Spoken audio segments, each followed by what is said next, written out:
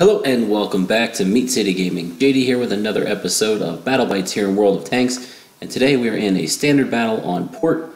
It's a tier 7 battle and we are in the tier 6 British medium tank, the premium version, the Cromwell Knight.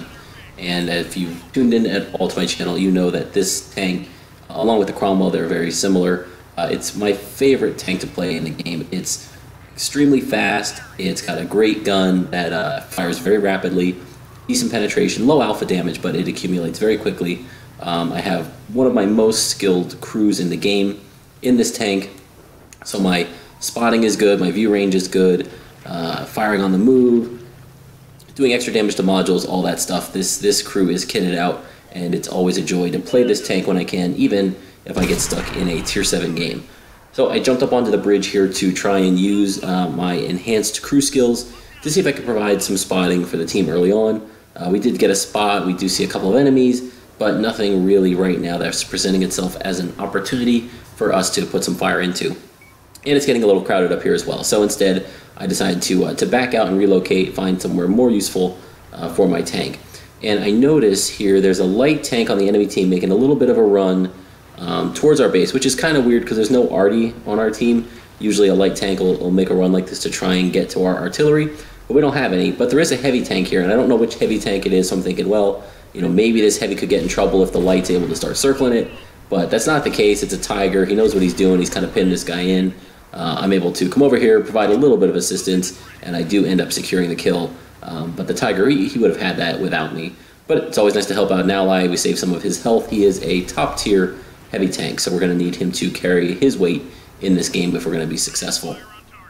I've got a nice little opportunity here to fire at the Jagdpanzer IV, the Tier 6 turretless German tank destroyer, and it's a little weird that I got spotted. I'm firing through that bush, which is really far away. Uh, I take a couple shots at the Jagdpanzer, and then I stuck around there. When I got spotted, I should have pulled back. I didn't need to take that shot. I was getting a little bit greedy, uh, and when my, my sixth sense went off, I should have pulled back and disengaged. Um, not quite sure what spotted me there. It shouldn't have been the Jagdpanzer. He should not have been able to see me at that distance through that bush. Um, but no worries, we just took one hit and we still have plenty of health left and we're in the fight here. Now I see the sibling to this tank, the regular Cromwell, the non-premium version on the enemy team. Uh, so he's just as dangerous a tank as I am, so we'll need to keep an eye on him and try to take him out when we can. So we get some more opportunities for the Jagdpanzer IV, and our second shot there was able to remove him from the game for our second kill. And then in our very next shot, we're able to snap one into the Cromwell, who's doing some, some ridge work up and down the hills using the mobility of that tank, but we got a little lucky and did put one into the rear of the tank. So then there's a bit of a corner face-off going off over here. A T1 Heavy, the Tier 5 American heavy tank on the enemy team, is dug in here, trying to angle, angle well uh, against one of our heavy tanks. And I'm trying to provide some covering fire where I can, put some shots of opportunity, and I do get a tracking shot there, which is good, pins him in place.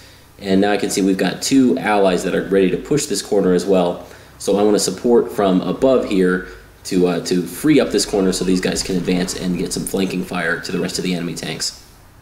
So we're waiting for our gun to reload. Again, we're trying to just poke up here, use mobility, use this bridge to prevent uh, line of sight to a lot of my tank whenever I can. Um, we do have a tier 7 medium Russian tank who crested the ridge there. We tried to take a snapshot, but he pulled back in time. But now I see this is my chance. We need to get rid of this T1 heavy. One shot should do it. We're going to pull forward here, aim for the gun port there, the weak point on the tank. I don't think that shot flew into it, but we had enough of the front of that tank for the shot to go in and penetrate and remove him from the game. And now once again, it's a two-on-two 2 fight down low here, so we're going to try and tilt those odds in our favor, being the third tank providing some extra fire, but I'm bouncing off the front plate of this ARL, uh, the tier 6 French uh, heavy tank. And now we've got now we've got enough of a downward angle, and we switched over to some premium rounds. We don't want to be bouncing here. We need to be contributing. And then wham, wham, rapid succession. I take two hits, and I'm nearly removed from the game. I am on just a fraction of health, 80 hit points here left. Um, I stuck around. I really wanted to get rid of that ARL, make sure that we, we finished that fight and allow my allies to advance, but I need to be really careful now. Any shot that penetrates me from any of the tanks that are remaining in the game, and I will be out. So we're having a really nice influence on the battle here. We've got four kills so far, and there's a KV-1, and our first shot went errant, but the second one we gave some nice lead. We go in, damage his engine. The second one, There we go again. He's now a one shot. Don't aim at me, don't aim at me. He does not. And we're able to reload the gun and put in our fifth kill. So four enemies left. Scores look pretty good. It's 11 to 8. We're winning. And, uh, and I'm on five kills. So let's go hunting for one of those medals. This could easily be a Top Gun. And if we play our cards right, we could be in the hunt for a Devastator or a coveted Radley Walters. Let's see what we can do.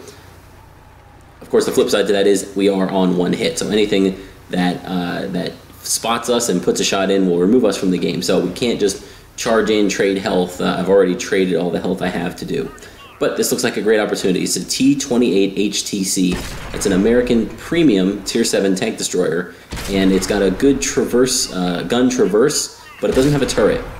So we had the side of his tank, and we're bouncing a lot there. We were able to put one in. I think it was a premium round, which I've switched to now because we're at long range. The armor on that tank is really good, and he's angled, so we're trying to, to secure one of these medals here uh, by getting a little extra penetration. Again, I can't just charge this guy um, because there are a couple tanks down that way and one shot will take me out. So we're trying to play our cards right, play a little cautious. We put a shot out, it bounces. We put another shot out, it bounces. These are premium rounds, guys. Premium rounds on the side of this tank. There we get one. He is angled pretty well. Oh, that one bounces. We need one more shot. One hit will do it. We track him. We're trying to reload, and an ally takes him out. So we get the assistance damage, but no Top Gun yet. Now three enemies left, and only four allies. They've pulled back a couple of kills there and this is now a close battle that could go down to the wire. Thankfully, we get the next kill. Uh, an ally takes it out. So now it's four on two, and things are looking pretty good. We've got what looks like multiple angles converging on these last two tanks. A, uh, a KV, is it a KV-3 and an AT? So it's a Russian heavy tank and one of the heavily armored British uh, turretless tank destroyers. So we're going to try and move in here and help. There's two of our tanks engaging the AT and remember the, uh, the cupola of that tank is the weak point if you can see it. Of course the side also works so we're able to put that one in. But now we've got a T-29 face hugging this guy. I don't really have an angle here. The armor on that AT is too good from this angle. So we're going to relocate and try to be more useful. And there we go. We've got the KV. He's looking down towards his ally trying to help him out. So that lets us come in on the side. Put a shot in and one win in from the ally too. But we've got his rear and no, it's not enough. But can we reload in time? No, not again. We only have five kills, guys. We need to get this Top Gun. Reload, reload. Yes, the last shot goes in. We're able to secure the last shot of the game into the last tank to get our sixth kill and grab a Top Gun in the Cromwell Knight. Uh, so thankfully, Allies did really well there, able to secure that win. It was close at the end. The, uh, the enemies did a good job. We had a couple of heartbreaks on some bounces on the T28 HTC and uh, just a little bit low on the damage roll for that KV at the end but instead we're able to quickly switch our fire, put the last one into the AT, and secure the top gun. So a nice result. You can see 2,600 total damage that game. Uh, premium tank, and we did, even firing some of those premium shells that we did, we still made 41,000 credits, uh, 6,200 XP, and I believe that was doubled for our first win. Uh, there might have been an op on top of that, and you can see we secured a bunch of medals, including the first class mastery badge to go along with our Top Gun. So we had 23 penetrating hits, six kills. We did detect a tank early on there as well.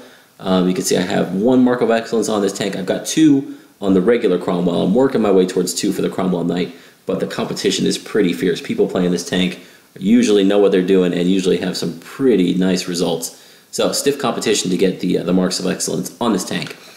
Quick, quick look at the uh, detailed stats. We can see we put up 1760, I believe, base XP which is a really solid result in this tank. Uh, six kills, 2,600 damage. You can see we shot 42 rounds that game. We were not sparing the trigger. Uh, 30 of those hit. Again, we were playing some Peekaboom. We were at long ranges and only 23 penetrations. Uh, so yeah, if you were tuning in for some accuracy, that was not here. And if you're tuning in for penetrations, not here as well. Almost 50% of our shots fired actually hit and did damage. So a bit disappointing there. It was a tier 7 game, so it's not like we were shooting at a lot of tier 5s and 6s um, other than that T1 heavy, and even that's a pretty good uh, tank from the front in terms of its armor profile.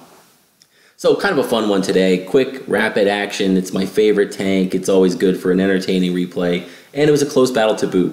Hopefully you guys enjoyed that. If you did, feel free to give a thumbs up. I truly appreciate it. And always subscribe for future content if you like to be notified when the next video comes out. Thank you for joining me, and I will see you next time.